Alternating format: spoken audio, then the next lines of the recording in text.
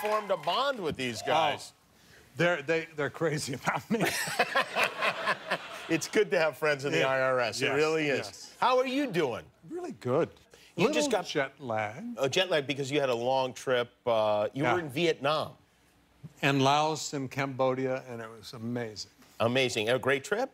Yeah, yeah. I know it's dumb because it's been like 40 something years, but when I hear Vietnam, I just I, I, I just think of the war, you know, and I'm sure they've for the most part moved past that, but I haven't. It's very, yeah, it, it's very poignant, you know. Is it? Yeah. I, I don't know if you watched the Ken Burns Documentary. documentary. You know, it's it was a tragic time all around, and to meet a people that, you know, it's so difficult to talk about because we lost friends or friends lost friends Right. in the war. Americans. Relatives and yeah. And 50 some thousand people died. Three million people died in Vietnam.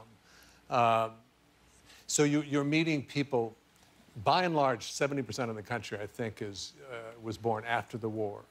So Interesting. everyone Oh, is young it feels like it's moved on, and uh, they're so gracious and sweet and kind, and it was really. I know it's. Uh, I'm like a recent convert because I just landed, but Right. it feels like a, a trip of a lifetime. It I think it's great to go there and to Yeah. tell people about it because that is something that that we need to know. I think. Yeah. You know? Oh, it is. Everybody I know who's gone there said it's the most beautiful, amazing part of the world they've ever been in.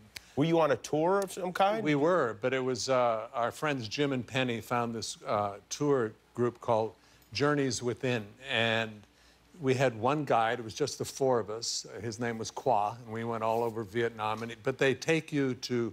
We ate uh, street food. We went to people's homes and ate. We were in the fields watching people farm. And if we went to a nice restaurant, it was it was a restaurant that was taking people off the street, kids, young people, training them how to be part of the service industry, and then getting them jobs in hotels. So it was all purposeful. It was all about here's the real Vietnam, not at arm's length. That's great, yeah, because a lot of times you'll go to Yeah. a country and you stay in the hotel the whole time, and then maybe you, you see the Yeah. sights that everybody sees. Yeah. But you went to people's houses for dinner? Yeah, yeah. Did you ask them if you could come, or did you just show up? it turns out Qua had about a million cousins. I So- see. Okay. So, you know, we went to people that he had, they knew and had been there before, and we, one outstanding one was, uh, and it was the day after we'd been to the tunnels of Cu Chi, which were where people, uh, the, the Vietnamese did these tunnels during the French and then during the American War. There would be these tunnels where they would live in, un, you know, three levels going down. And they would live in and then come out and fight and go back. And we met this man who was a general after the fact. He uh, had lost an arm and an eye uh, during the war, and the woman who nursed him to health in the tunnels became his wife.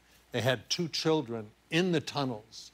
They lived there for four years. I mean, it was so incredibly moving. And one of the we kept saying, "How do you feel about us being here, about Americans?" And he said one of the things that he walked away with from the war was, what he really, really needs now is friends to talk to. That's all he wants after that whole experience. Wow. Was I want friends to talk. Wow. Yeah. That's that is amazing. Yeah, incredibly moving that they could, you know, it's a lesson for all of us, you know, to be able to move on with. And did uh, you tell them I wasn't on Friends? I was on Cheers. or the well, No, no. no.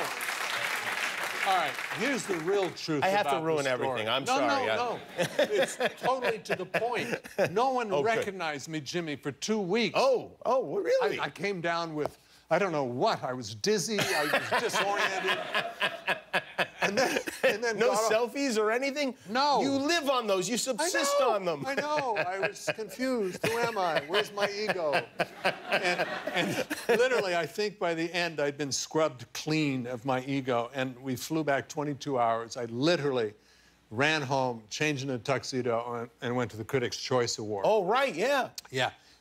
I was happy. I can tell you, my, my ego flooded back in. Yeah, it did. Yeah, the critics great. had chosen great. you to be there. Yes. But speaking of being washed clean, you sent a uh, a video from the trip, and well, let's take a look at this video, and then you can tell us what. So where where are you here in this? uh, this Buddhist monk uh, was uh, blessing us and washing us clean of our uh, our stuff. You notice there that Mary had more stuff than I did. She, Yeah. She, needed really washing? needed it. Yeah. When we went there, you had a choice. Listen, hey, he tied this on me, this amazing man. Um, it's, it's an amazing trip. I really Do you think you'll keep that on until, until it falls off. until it falls off, yeah. Or my ego, Yeah, right. unless it gets in the way of an outfit.